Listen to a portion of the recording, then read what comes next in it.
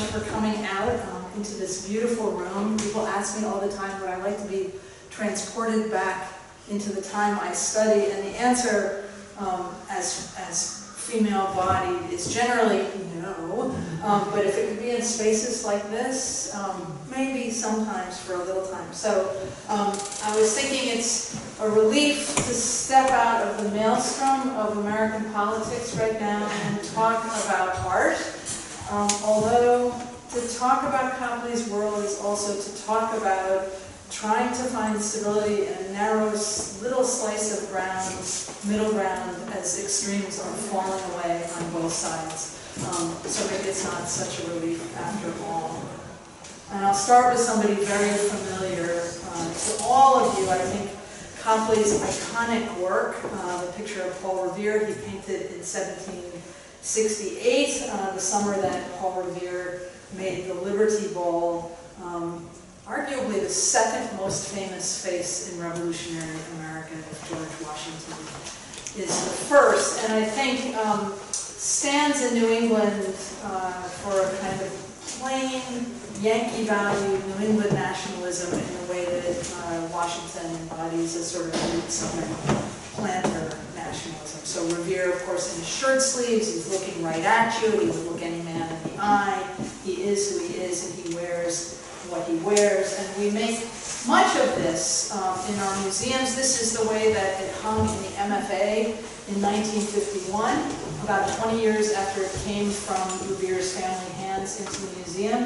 Um, you can see that that's an altar with the Liberty Bowl in front of it, sort of chalice-like, and the flags of the Commonwealth and the United States uh, on either side. And here's the fabulous new of the Americas Wings presentation today, which is of course a much more updated kind of museology, and yet it's still an altar um, in a gallery called Revolutionary America, a gallery that's dominated by Copley's. The MFA is, is the largest collection of Copley's art, the most significant collection of Copley's art in the world, with over 80 works, and there are along the side, along the left side there, these four canvases matched in size of Sam Adams, John Hancock, Dr. Joseph Warren and Mercy Otis Warren, um, who stand as sort of patriot super friends there, um, as if they were somehow plotting when Copley painted them between 1763 and about 1770 um, to be on the front lines of a battle for a country that they had never heard of um, some years down the road, or as if, if, you, if I had a close-up of Hancock um, perched over his ledger, as if he was practicing for the Declaration of Independence. Um, I bring this up because I think we tend to tell the story of the revolution through the eyes of men like Paul Revere as if they were urgently facing forward to a future that only they could see um, for quite some time, and as if the road toward that future were straight and obvious and wide, uh, you know, pebble-strewn and risky, um, but, but, uh, but clear. Um, and men like Copley, um, men of profound ambivalence, deliberateness, which is exactly what made him so acute as a painter, right? Watchfulness, um, uh, fade into the background. Um, so the gambit of my book and of my talk tonight is to ask not only what Copley's world was like, but what the world of revolutionary America looks like if we see it through his eyes. And I want to start with something that should be very familiar to people who live in the town of Newport, Rhode Island, which is that when we think about Copley's world, we're thinking about a world that is oceanic, um, that is uh, connected by the highways of the age of sail, which are the seas and not the roads. Um, this is a map of Copley's Boston. It's the Bonner map, first printed in 1722 and reissued continuously through the 18th century this is an edition close to the uh, close to the Revolution. I don't know if I can get I can't get laser to point at this, but you can see the long wharf jutting out into Boston Harbor. Gets out about half a mile, uh, sort of urgently uh, reaching east. Um, as in Newport, east is what the map is keyed off of. In fact, in the legend on the map, it's east, not north, that is the orientating uh, factor of the map. Um, the ships everywhere are a common way of representing uh, places like what the Boston Copley was born to in 1738 was, which was a second-tier British seaport. Um, not a uh, not a future American capital, but a second-tier British seaport. Um, was the child of immigrants, uh, which was not an unusual thing to be in the 18th century. It's a world where people are crisscrossing all over, but it's, um, but it's a relatively unusual thing to be in Boston, where about 80% of people of European descent are uh, the descendants of um, people who are already there. So that's uh, quite singular. He's born during the second major wave of Irish immigration to Boston, several hundred people into a town of about 15,000. Um, so his parents have made an ocean voyage uh, already, and the circuits of trade that connect that world um, put Boston closer to Newport, where there are important trading relationships, especially to Kingston in Jamaica and Bridgetown in Barbados, um, to Halifax and the sort of northern fishery circuit, and closest of all, if we're thinking in terms of cultural and economic relationships, social relationships, to London. Um, so that when we're thinking of his Boston, don't think that it's on the Acela corridor that uh, connects to New York and Philadelphia and Washington, D.C. Those places have very little to do with the Boston of his youth. Um, some of Copley's first, first pictures are seascapes, um, uh, sort of juvenilia copied from European prints. Um, this is a uh, 1754 painting called Return of Neptune, which is at the Met and uh, painted about the same year. Um, this is Galatea riding the waves, which is held by the uh, held by the MFA. Um, so pieces of juvenilia like this are rarely displayed. I don't know that the MFA has ever displayed Galatea. It's a it's a halting kind of paint by numbers production, which is exactly what he's doing, right? He's got uh, he's got a, um, European print um, based on some painting that he cannot possibly see. He's got uh, some oils and, uh, and pigments. Um, he's got the world around him, and he is trying to paint himself into this uh, imperial tradition, oceanic tradition, um, with, in this case, an image that is also uh, evokes a Handel opera. Acis, uh, Handel oratorio, Acis and Galatea, is one of the most popular pieces of secular English music in the 18th century. So he envisions himself from very early on, this is a 16-year-old, um, as a kind of cosmopolitan.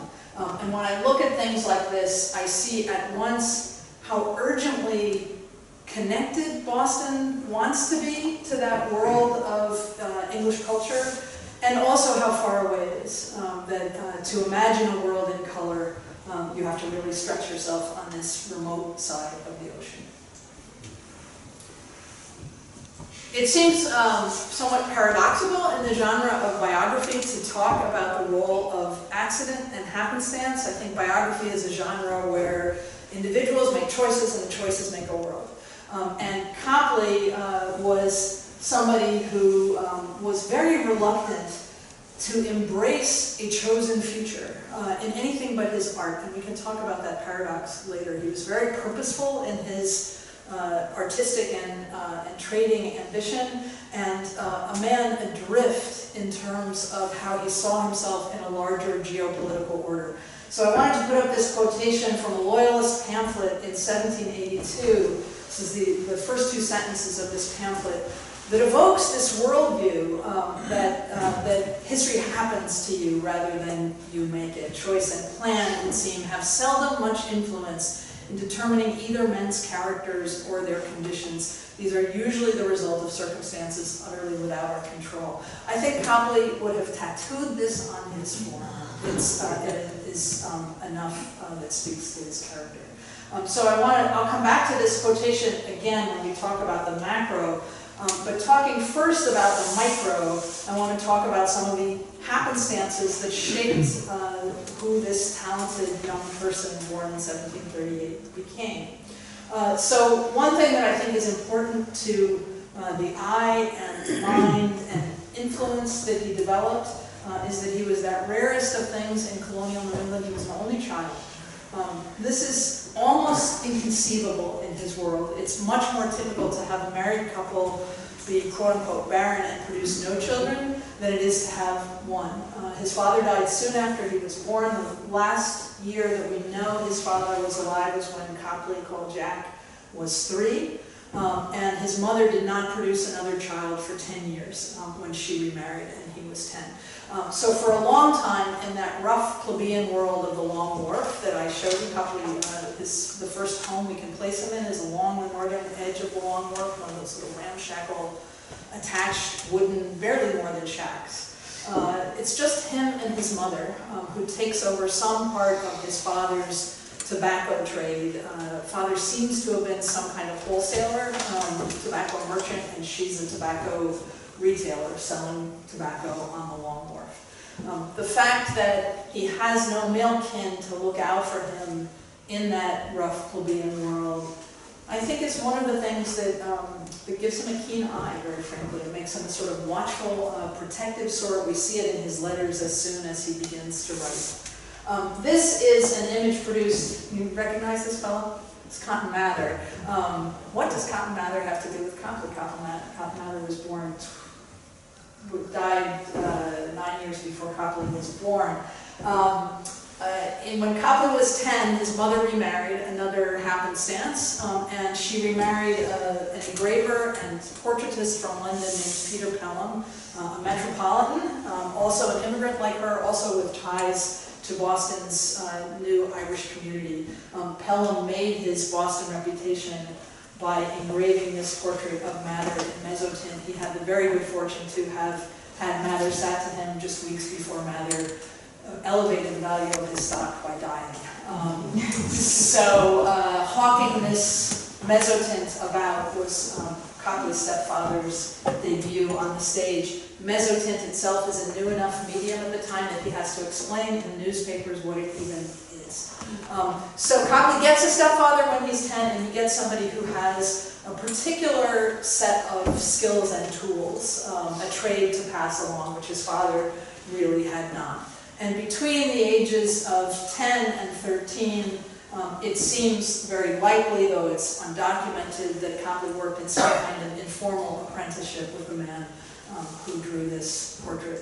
Um, Copley also gained in that uh, brief three-year period uh, the little brother, Henry Pelham, called Harry, uh, half-brother who would become uh, the most important kinsman in his life, save one.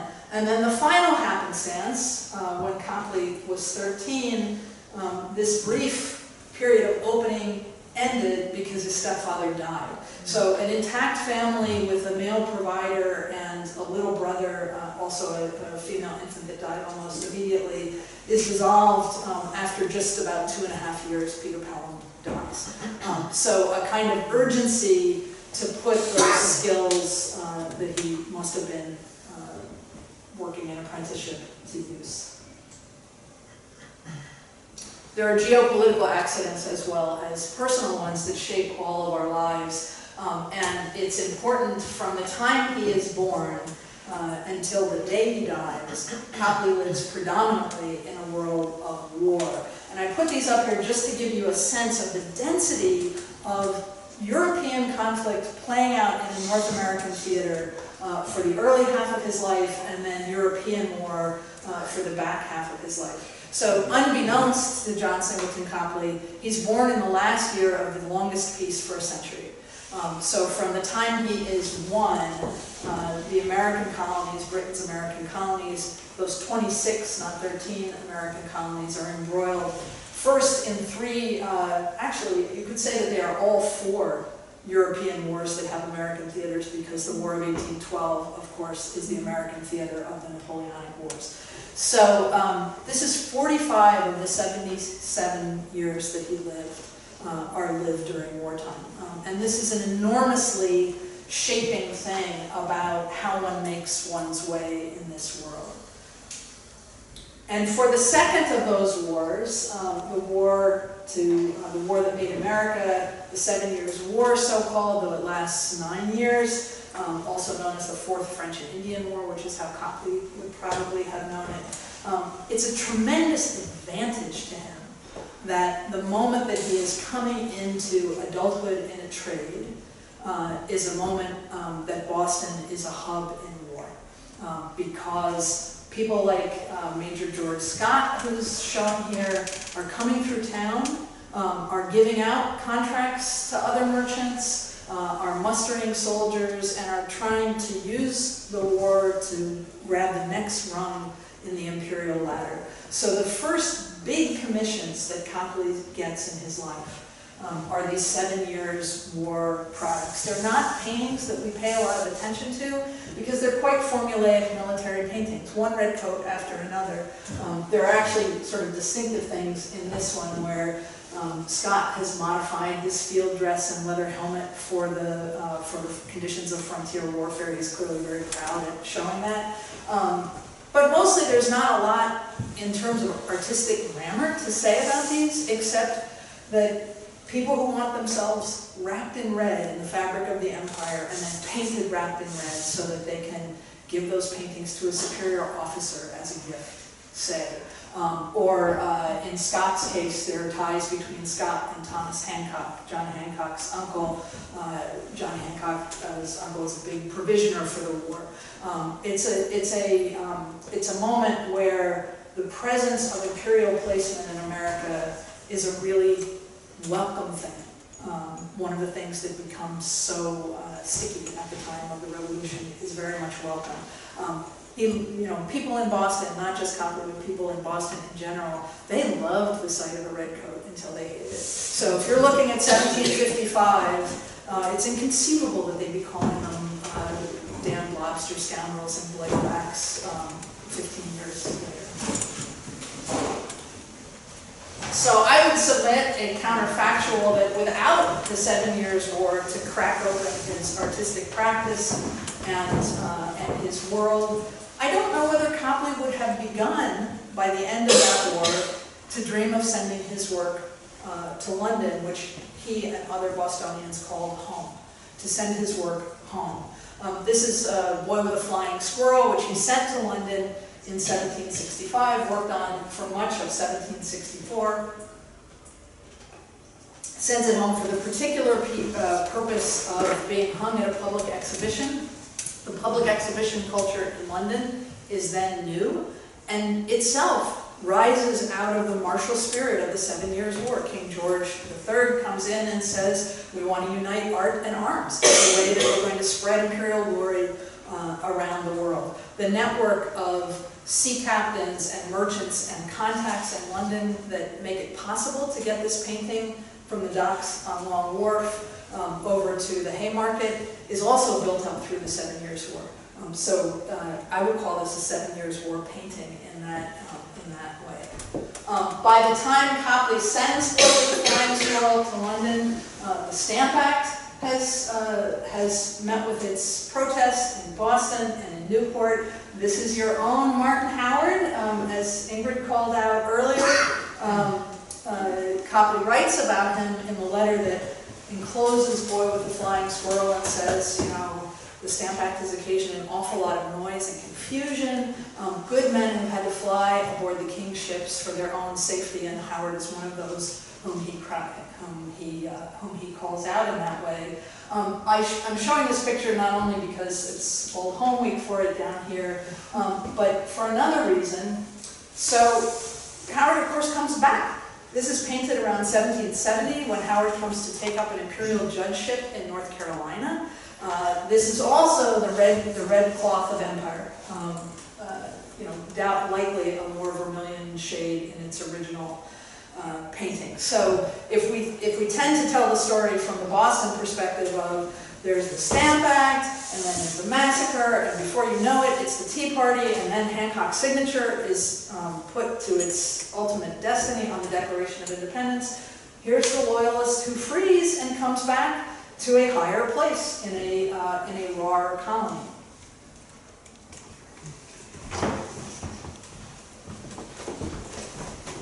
So in the fall of 1769, after the Stamp Act riots, uh, after um, the uh, resistance that's produced the Liberty Bowl and the summer that Paul painted, uh, that Copley painted Paul Revere. Um, makes the most important decision of his life when he marries Susanna Farnum Clarke November of 1769.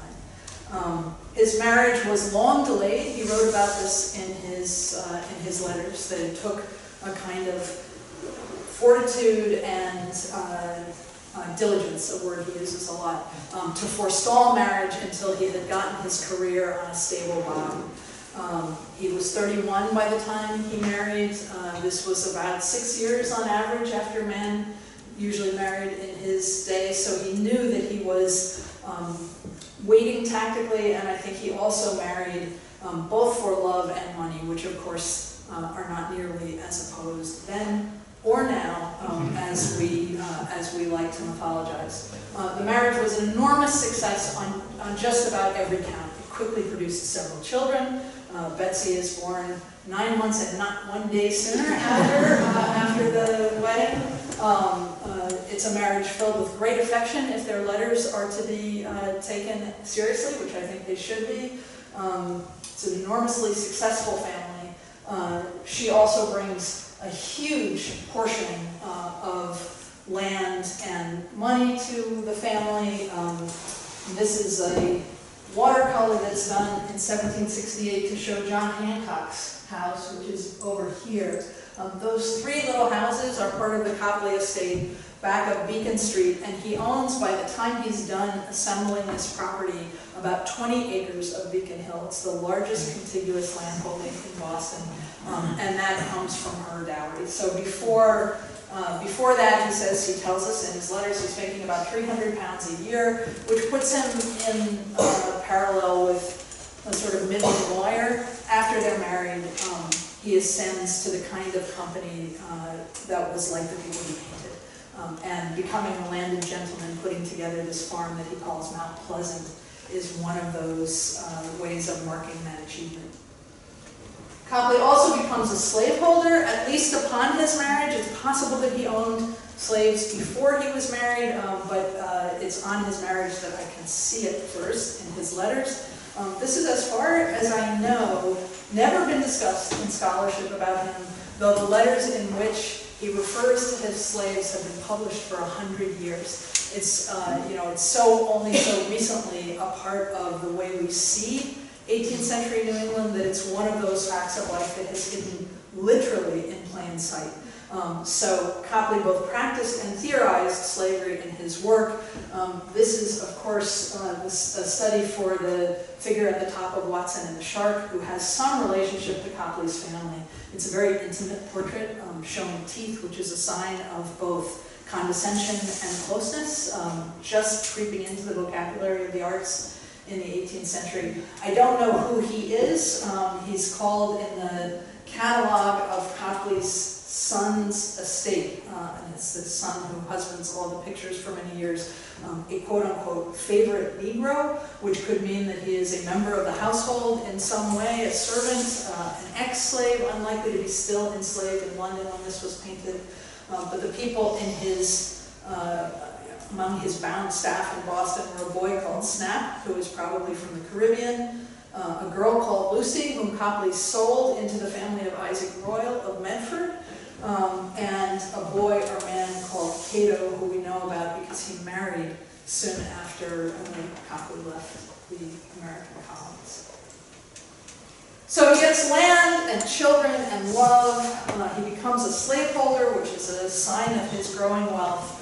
And he also inherits through his kinship to Suki her father-in-law a very particular relationship to an extremely vexed commodity in tea.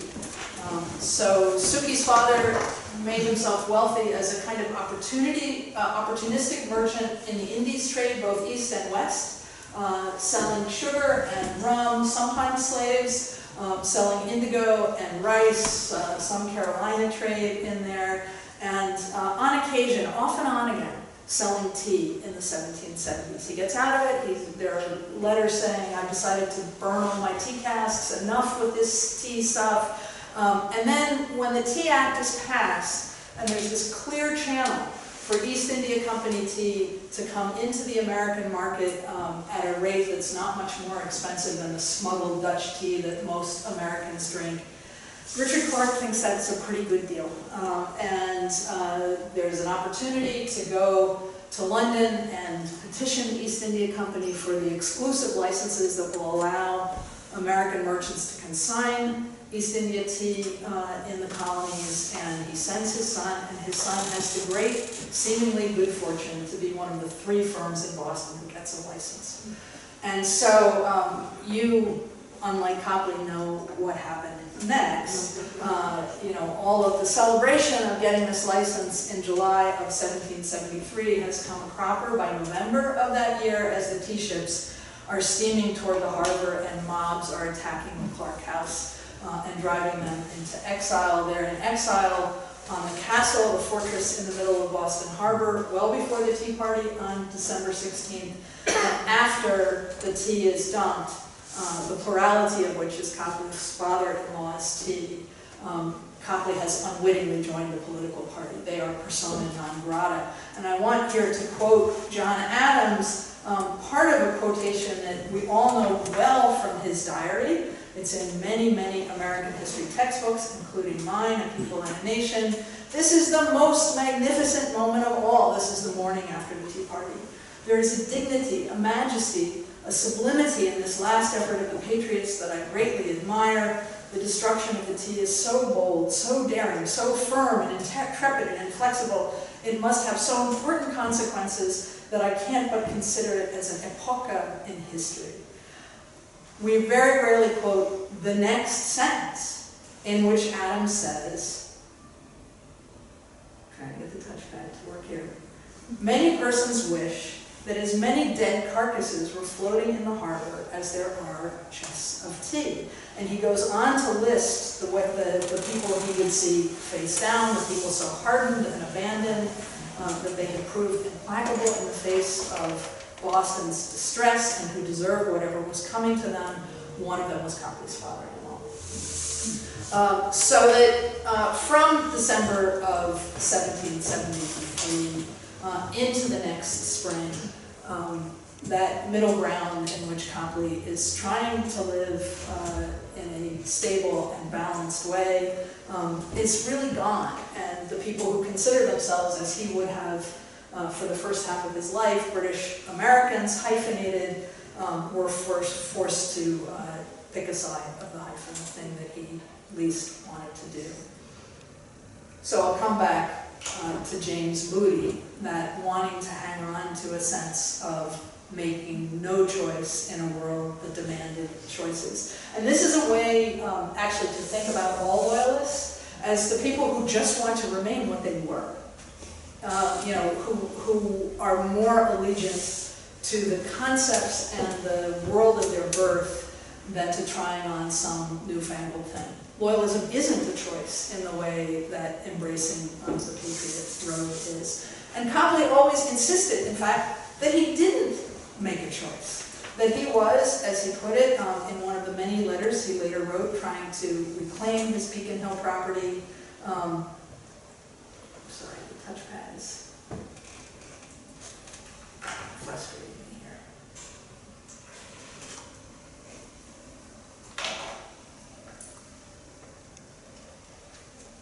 You're too technologically sophisticated for yourself.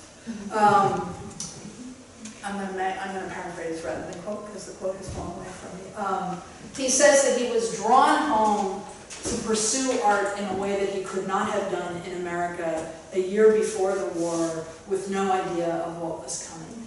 Um, this is half true. We'll just leave it there. This is half true. He could not have pursued art in America uh, any further than he had already done. In fact, one of the miracles of his 38 years in British America is that he can paint from a very early age, I think from the time of that red coat, um, better than anything he has ever seen. Right? How do you how do you outstrip everything you can see? And he has done it. And if you doubt my word, look at the Feke outside. Um, you know, he, he has a world to aspire to by European and other itinerants um, who have their work hanging in Boston, and he's better than all of them almost as soon as he breaks, takes, takes out a brush. But he can't see Raphael. Um, this is his uh, Ascension, painted in Rome in 1775 in homage to Raphael's Transfiguration, also in competition with Raphael's Transfiguration.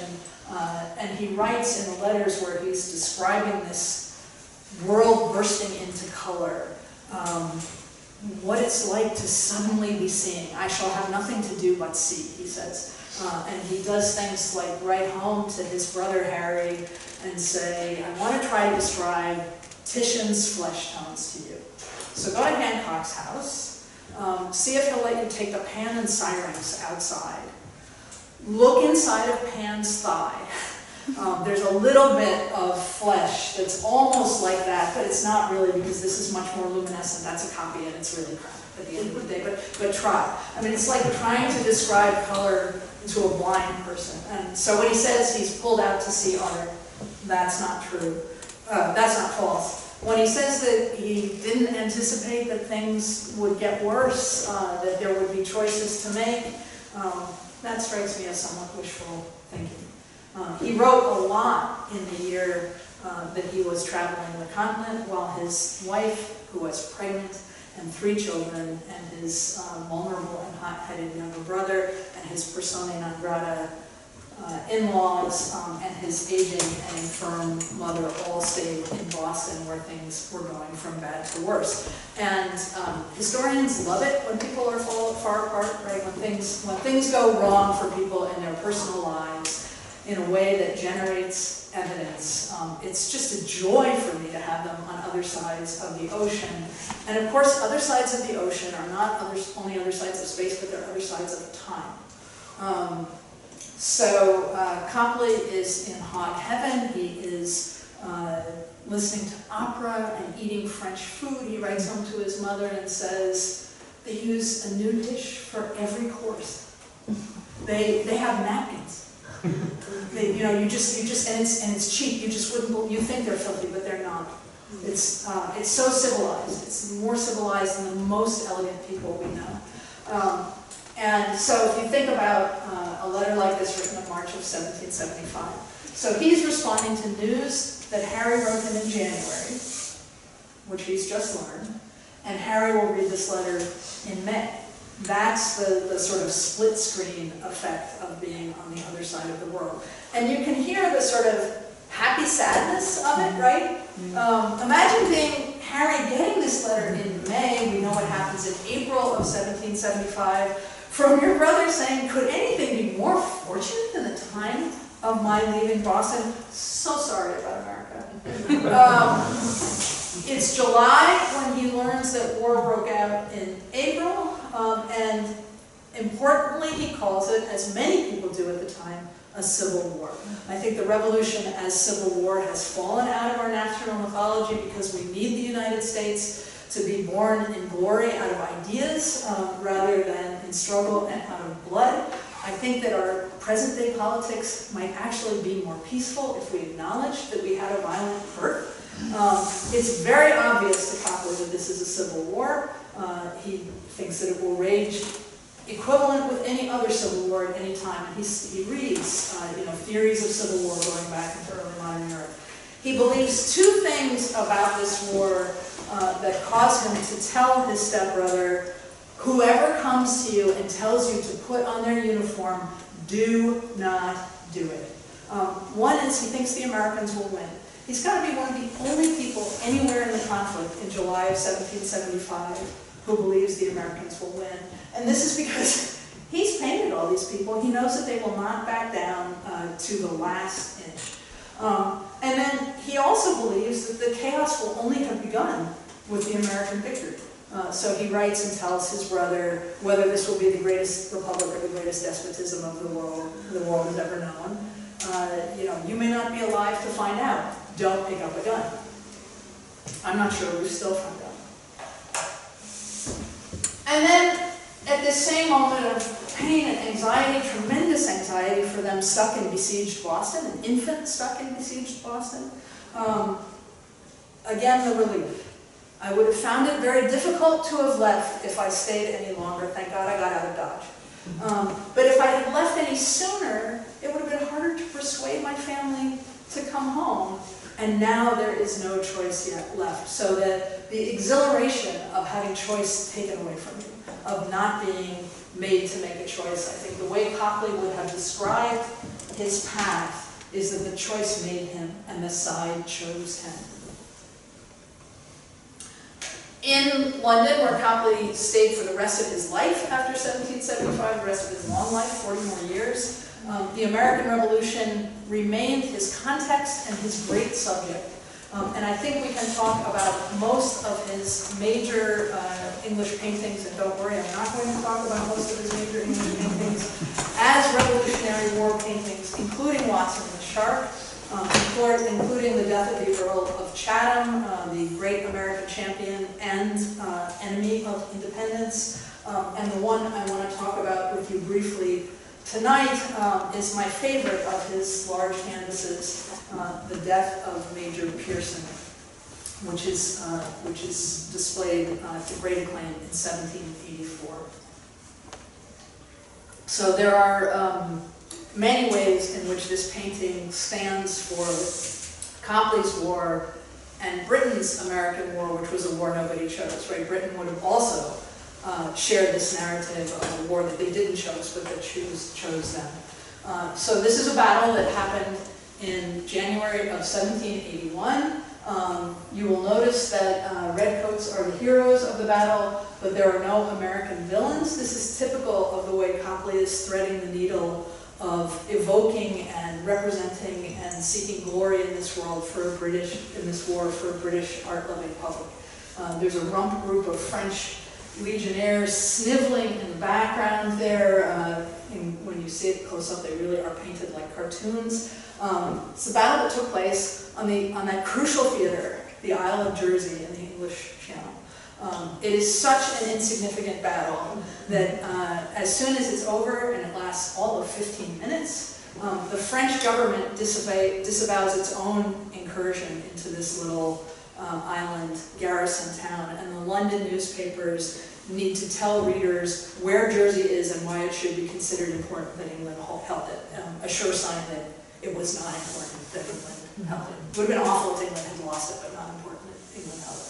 Uh, Major Francis Peirson, who's our dead body in the center, is uh, the name of the moment for about 20 minutes, uh, just because he died young in a war that too many young men were dying. Um, so Copley is painting in a place uh, where um, uh, it's Britain's Vietnam, right? Um, and to bring people out to think about martial glory and martial sacrifice, um, you have to recognize that uh, young heroes are being slaughtered as soon as they're made, and that is part of uh, what he's doing, evoking this um, man of feeling dead in the middle of the picture.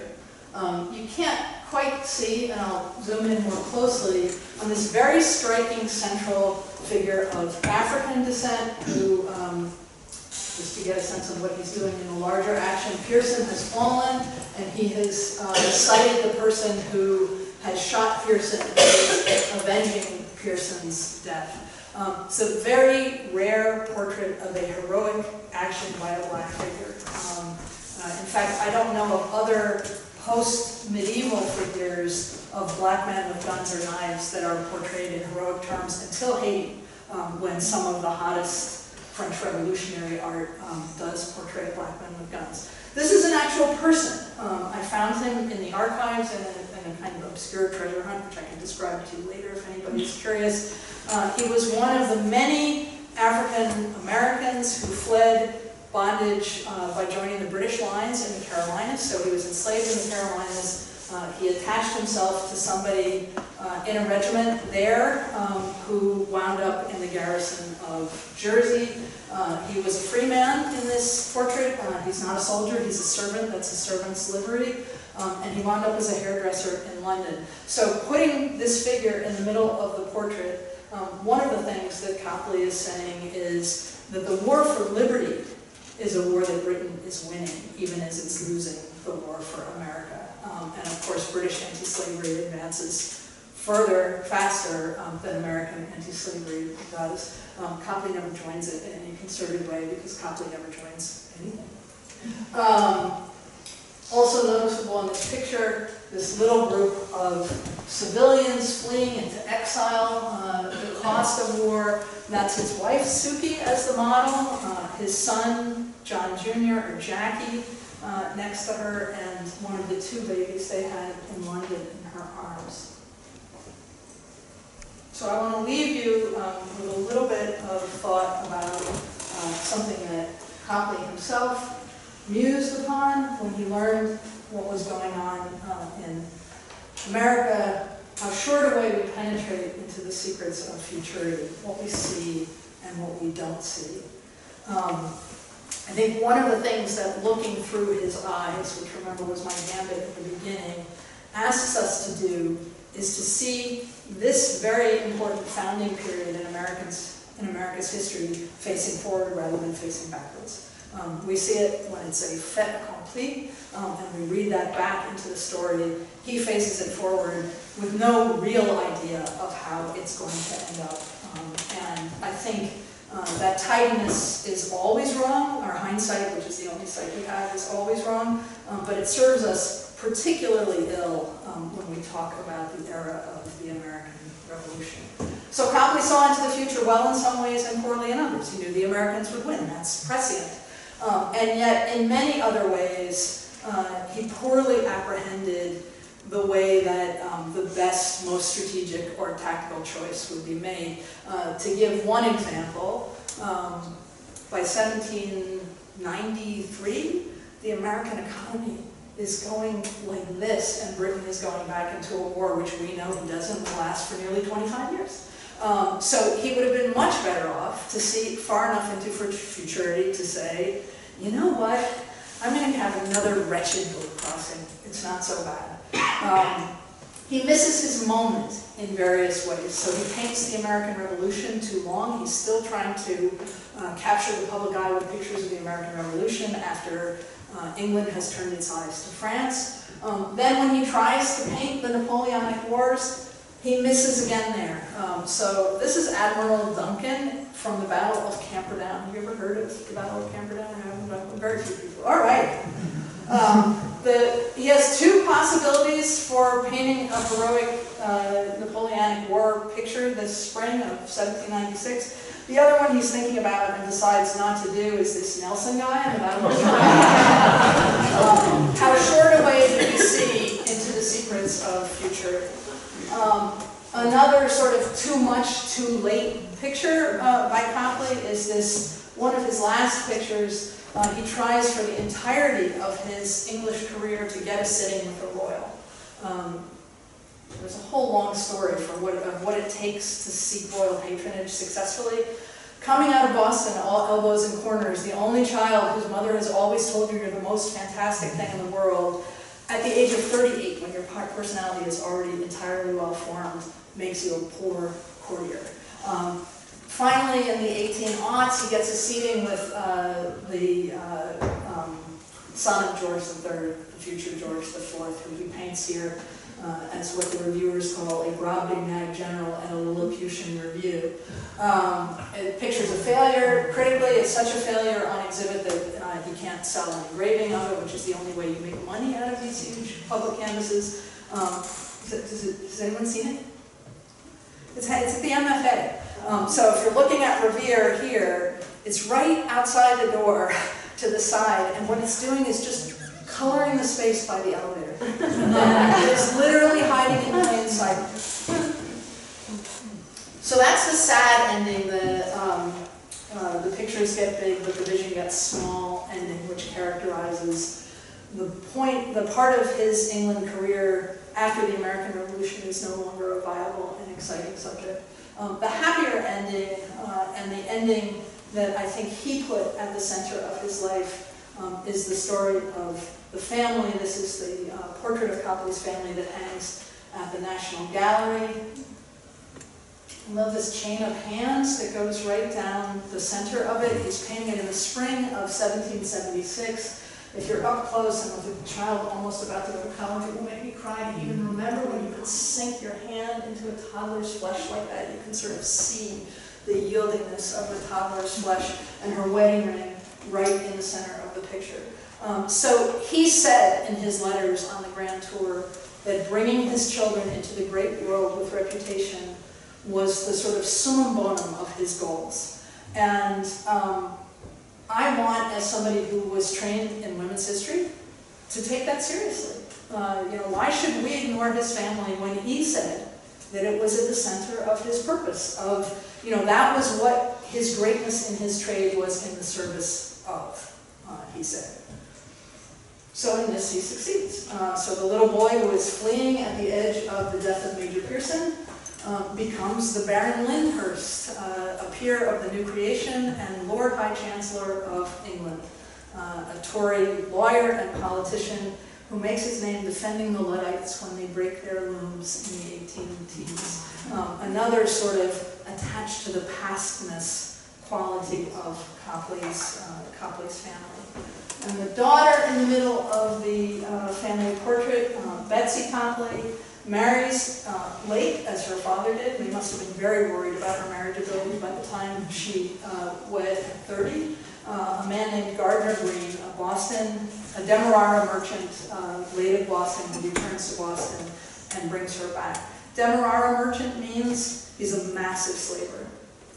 A thousand bonds people on Caribbean sugar plantations. So that slaving wealth both catalyzes Copley's portion after his marriage and saves his late life. It's his daughters funneling the husband's money back to England that keeps Copley and his wife's body and soul together in their later years, and that fuels the son's rise through the English bar. Betsy lives a very, very long time. Uh, this is Betsy at 96 in the, uh, in the year 1882, uh, I'm sorry, 1862 during the American Civil War. They call the American Civil War a revolution, just as they call the American Revolution a civil war. Um, and uh, when she dies, she is remembered as the last loyalist in Boston. Um, her, uh, her great gifts to the United States are two. Um, she is the keeper of the family letters and everything that we have uh, in private hands on this side of the, everything we have in public hands on this side of the Atlantic came through her custody and governance of those materials. Um, and she also set in motion the bringing of Copley's pictures to the United States, a country that they had never been, even the ones that were painted in Boston. So it is through her agency, she sends granddaughters and, uh, and purchasers to her brother's estate sale that, um, that head of a favorite Negro, that the family picture, Boy with the Squirrel, the Ascension, the core of the MFA's collection comes through Betty, what she would, Betsy, what she would have said, bringing the pictures home, um, but of course she was expatriating the pictures from Britain um, for the first time in their lives. Thank you.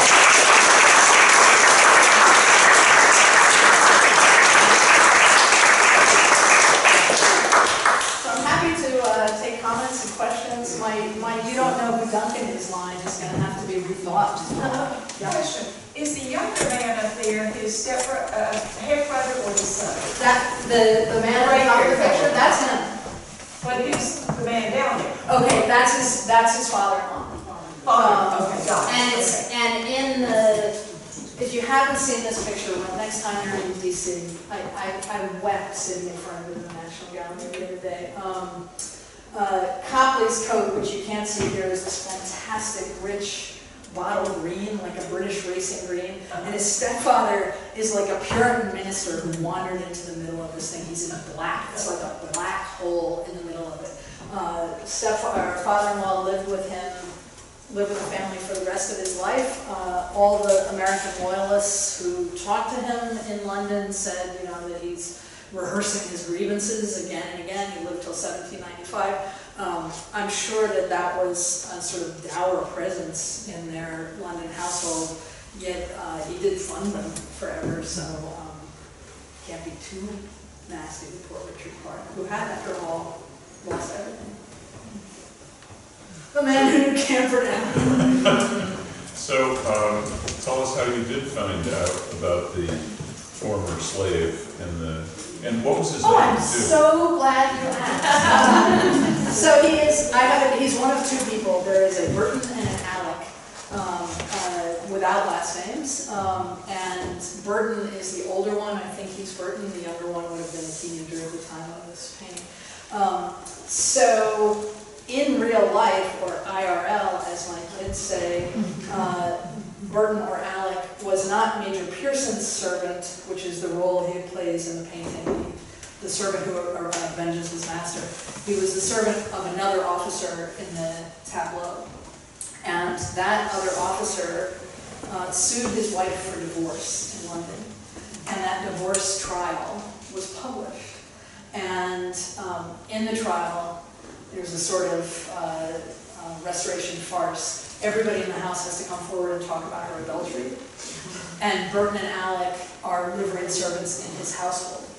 Um, so they talk about, you know, when the household came back from Jersey to London, uh, the lover came over in his carriage and the wife said, no, you should wear my lover's livery, not my terrible husband. And he says, I am your husband's man. And um, so that's how I found.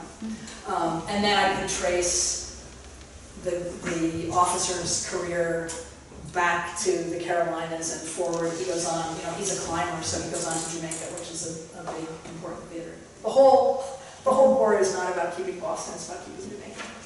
Um, and uh, that was a sort of glorious place to be defending the UK.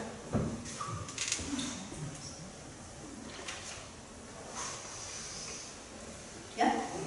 So, um, I was expecting to see the shark, and there's no shark here, so.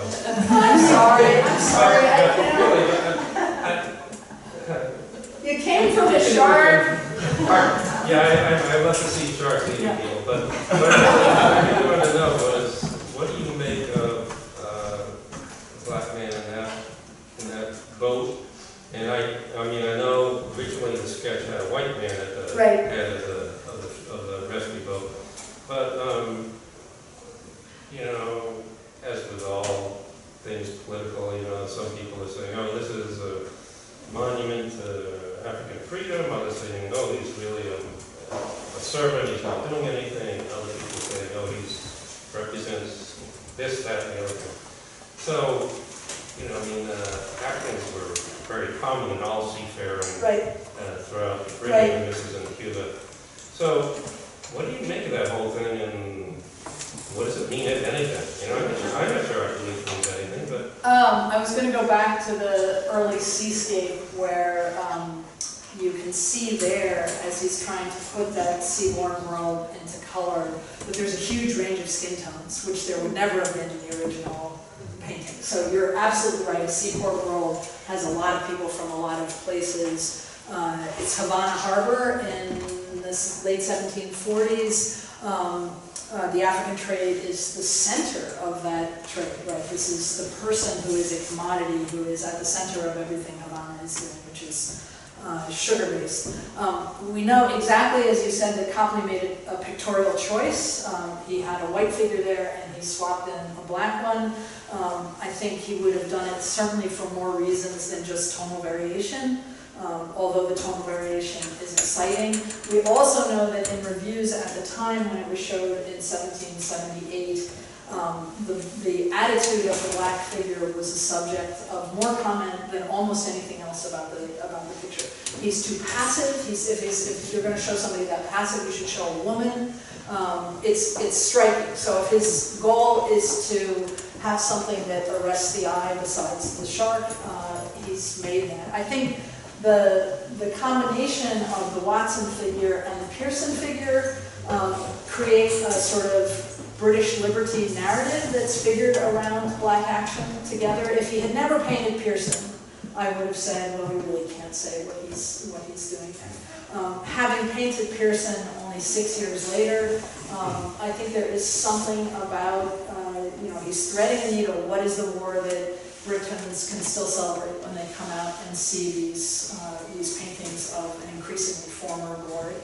Um, One of the things that they can still celebrate is that uh, British liberty, such an important phrase in their world, um, is not a lie.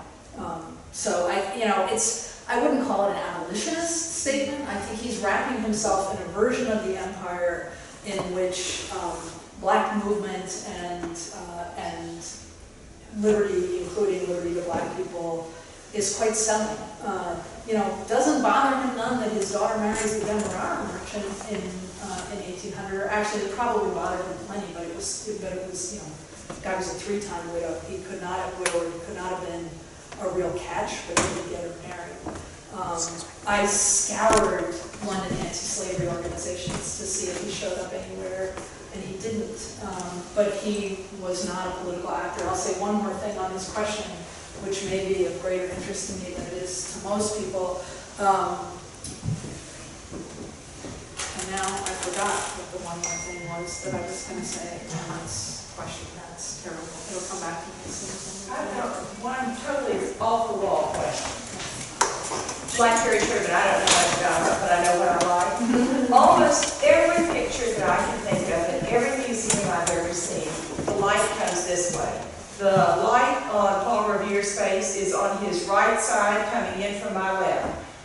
Why is that so? Are more painters one-handed than the other? Do they put their sources of light in one direction than the other?